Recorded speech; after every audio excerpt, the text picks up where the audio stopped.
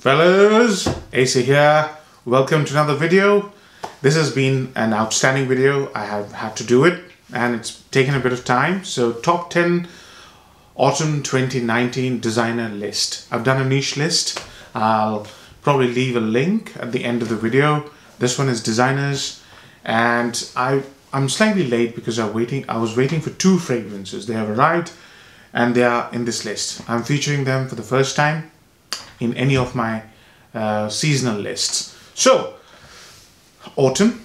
Autumn is uh, basically an in-between weather.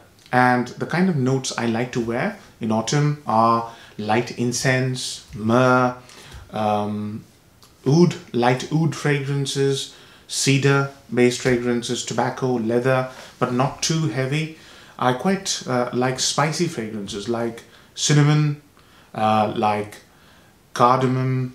I also like lavender. Those are my favorite notes. So I've tried to pick a balanced list. I forgot to mention vanilla. I absolutely love vanilla in um, autumn.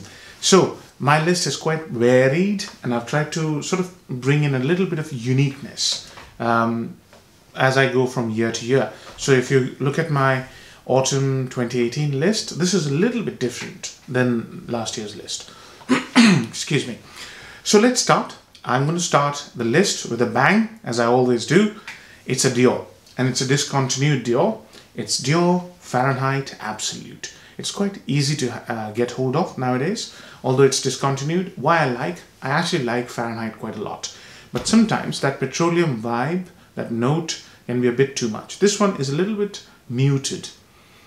But what it's got uh, is a very beautiful note of myrrh and quite a smoky uh, incense, along with slight hints of leather as well.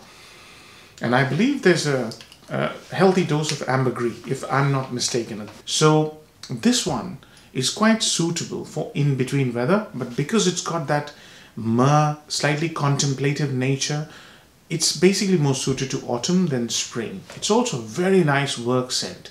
Because of those notes, you know, myrrh, incense, they help you concentrate. I really like to wear this to work. I never spray this on my shirt because of that petroleum vibe, that note. But I keep it under my shirt. Sometimes I'll go one or two on my wrist. And just, you know, it gives me a full work day. It's a muted scent. It doesn't project like Fahrenheit. But it's a very rounded, full-bodied, uh, slightly more contemplative, uh, very, very reserved, mysterious, and yet elegant kind of fragrance. Very suitable uh, for a suit and tie in autumn. Yeah. That was my first entry, Fahrenheit Absolute. Unfortunately discontinued, but easy to get hold of. Next one is on my list. Uh, next one on my list is a fragrance I've never featured. It's a sandalwood based fragrance. It's a house that I don't talk about much. I'm just discovering this house. It's by Gorilla Perfume, and this one is called Smuggler's Soul. Now, there used to be uh, an Indian sandalwood smuggler, and his name was, uh, can't remember his name now, Veerappan. His name was Veerappan. He used to look like this. Now, Veerappan used to smuggle some sandalwood. He was a very notorious guy. Now, this is basically an ode to Veerappan because he was a sandalwood smuggler, but this has got nothing to do with a smuggler-like personality. It's a very nice sandalwood, very cheap, very easy to get hold of, and it's a very, it's a proper Mysore sandalwood smell. So you won't get it for this cheap. You know, Mysore sandalwood is protected. It's very hard to get hold of. When you do get hold of it, it's quite expensive. But this one is not expensive. It smells a bit like Mysore sandalwood. There's a big difference between Mysore sandalwood and Indian sandalwood. This is Mysore sandalwood and vetiver. It smells very pure. You know, that's why I like sandalwood. Sandalwood is a very pure scent, very deep scent and very pure scent. Normal sandalwood, natural sandalwood. And they mixed it with a grassy vetiver. It's got this beautiful purity about itself. It's very um, meditative kind of a smell. It's very uh, you know, pure, um, sort of, when you want to concentrate on something, sandalwood is a perfect note. So again, a beautiful work scent and one of those scents that that probably won't get you a compliment, but probably will help you focus a lot at work because both vetiver, grassy vetiver, and this pure um, lovely full-bodied rounded sandalwood. Both are ideal for focused work. So when you're in the mood to do some focused work, again, a beautiful scent, doesn't cost a lot of money, quite easy to get hold of. At least I found it easy. I don't know about you, wherever you are living. So sandalwood is another superb note for autumn. So that's that's where that can come in. But it's not a compliment magnet. Next one in my list is a compliment magnet. It's also a cheapie. I recently featured this in one of my videos. And this is this is him by Zadig and Voltaire. The more I wear it, the more I love it. It's a beautiful spiced up vanilla, vanilla and pepper along with incense. And with that incense is this synthetic sandalwood which is beautifully made. Synthetic sandalwood, so beautifully made. The fragrance smells amazing. It's masculine, it's mysterious, it's sexy, it lasts a long time and it projects. And it was created by Nathalie Lorson. She doesn't do bad fragrances. I've done a full review of this one. And this fragrance, if you just have want to have one and you're on a budget this autumn, try this one. 50 ml, uh, probably 27 to 30 pounds. It's not that difficult to get hold of. Extremely well made. Really good scent. So Zadig and Voltaire, this is him. That was number three on the list. Number four on the list is, what can I say about this one? This is a masterpiece. It's a Guerlain. I've done a full review of this fragrance and it is Lidge. This is not the extreme version. This is just normal Lidge, but it's still a vintage. The bottles have changed. The bottles now look like the Listerine bottles, but I haven't tried them. Probably they are still the same. Guerlain doesn't play along with their, play around with their fragrances. They normally are true to their composition. This is a Chypre. This has got a fruity orange. It's got a very spicy patchouli. It's got a very creamy sandalwood. And it's also the best thing about this fragrance is that anise note. It's a bitter and there's a cacao note. So bitter, spicy, chocolatey, creamy sandalwood. This is a very complex fragrance and yet extremely enjoyable. Just a very, very sexy fragrance, you know. And I've worn this in summer evenings. It works even better. So if you live in a hot country, autumn can be as warm as our summers, 25, 20 degrees, 25 degrees. For that kind of a weather, this is a blessing. It smells outstanding. It's just brilliant. So Lidge by Guerlain, suited for any occasion. You know, this is this has a bit of a boomerang kind of a quality. You feel it's gone, it comes back. But I wouldn't go more than four sprays, even if, if you're going to a party, because you know this is quite a strong scent. As long as you're indoors. So, Lidge, ideal all-round autumn fragrance. Warmer it is, the better it will be. Yeah. Next on my list is a vanilla. Another vanilla, and second vanilla in the list. It's a Guerlain. It's basically a beautiful date night fragrance, also a daytime fragrance. It is Ideal EDP. I've done a full review of this one. It is one of my early reviews. This one is slightly more.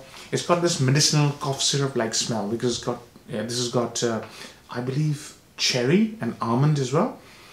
But it's not sugary sweet. It's powdery though. Yeah. So if you don't like powdery scents, probably you want to give this a miss. It's quite powdery. But the vanilla, it's not as posh as, let's say, Shalimar's vanilla, but it's still very welcoming. And that's why I said it's a very good date night fragrance because that's, it really pulls people towards you. And since it smells so unique, nobody's copied this uh, DNA, I believe it's one of those fragrances that really gets a conversation started. The other person who's smelling you will feel extremely comfortable in your company. So ideal is for those occasions, you know, like for me, I'll be going out a bit, so socializing with people, hanging out with friends. Ideal. Very comforting, very beautifully made fragrance. Nothing special, but very well done. Evening scent, I've worn this to office as well, you know, on a gloomy day when you want to really pick yourself up it's a great office scent as well. Doesn't project that much though. Stays close to the skin. Next on my list is a Monster. And it is a cinnamon based fragrance. I've been talking this fragrance up a lot recently. It's a Rasasi. It's a fabulous fragrance. It is Sotoor WaaW. Now, WWW. I've done a full review. This one is now and out clubbing scent. It's slightly sweet, very dry, woody cinnamon. The two woods I get is oud and cedar. It's also got the fabulous cinnamon. It's a very, very opulent cinnamon. And it's just one of those fragrances which is outgoing, um, sort of flamboyant, you know, um, stylish, that kind of a fragrance. So ideal for clubbing. Excellent projection, excellent performance, very, very good longevity. Great value for money. I think this is one of those fragrances that you must have in your collection because, you know, everybody goes out once in a while. You go into the cinema, put this on, two and two here, everybody will smell you and they will think of you as in you have got a bit of style. Excuse me.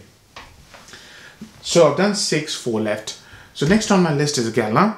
It's a Chypre and it's a very complex fragrance. You know, Lige was born here. This was released in the 90s. It's Heritage Eau de Parfum.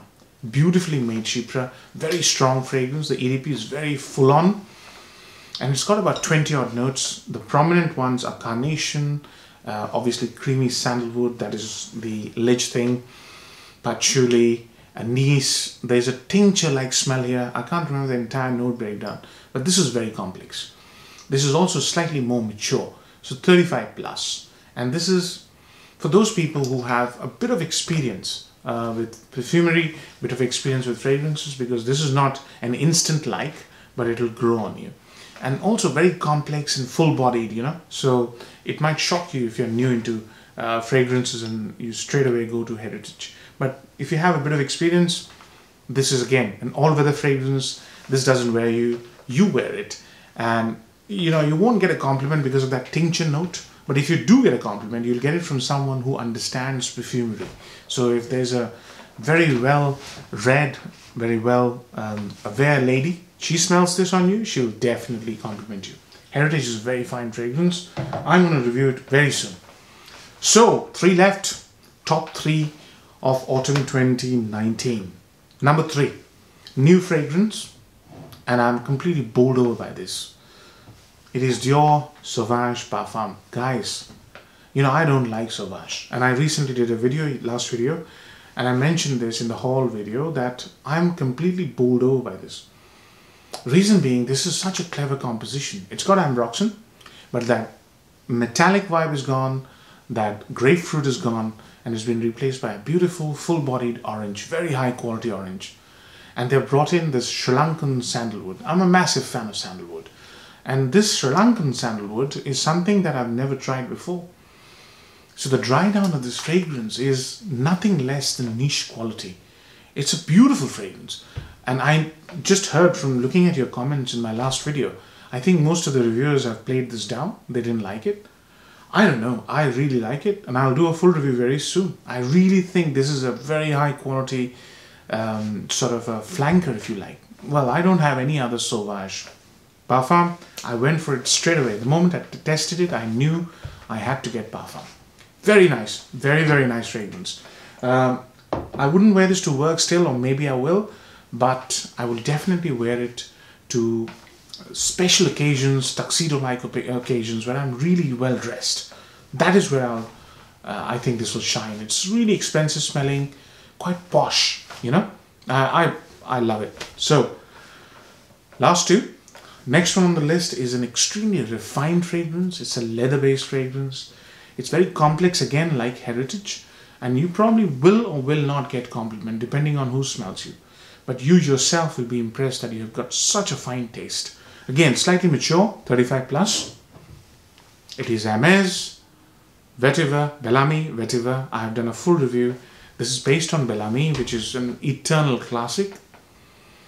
And my god, this is amazing. This is basically a niche fragrance and a designer price bottle. vetiver obviously is not grassy, it's woody vetiver, but they've also taken that famous leather from Bel-Ami, tamed it down a bit, introduced a few amazing notes like elemi. There's this hidden note of dry fruits, which is the one that I get the most and I like the most. So dry fruits, nutty leather, slight elemi, lemony, and then beautiful woody vetiver. It's really, really well made. It's, as I said, it's a niche quality fragrance. I wear this to work. I wear this when I'm by myself or going to the movies. I can wear this anywhere because it's so refined, so classy, so complex and so well made. amazing fragrance. I've done a full review. You can check it out. You must try this if you haven't. If you have, if you're fond of leather and if you have a bit of a style statement, you know, and you don't follow the trend, you must try this. You know, I probably, I think you will end up buying this if you if you are one one of those guys who has their own style. Last one on the list is a fragrance I've never featured. This is the year that I'm going to feature it. It's an outstanding fragrance. I think it's a 10 out of 10. I'll review this soon.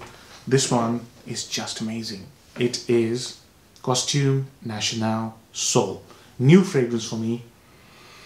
And it is an outstanding fragrance. Out and out amazing fragrance. Oh, okay, what is it? It's a very radiant amber. It's coupled with vanilla, there's some other subtle notes. I'm new to this, so I'm trying to learn this fragrance. And it's got oud. Now, I don't get oud when I spray it on my skin. But yesterday, I put two on my wind cheater and I went out. And I was shopping, vegetable shopping. And there was this woman who was dressed very inappropriately for vegetable shopping. Okay, she, she was beautifully uh, well dressed. And she started sort of following me. And you know, our supermarkets are huge.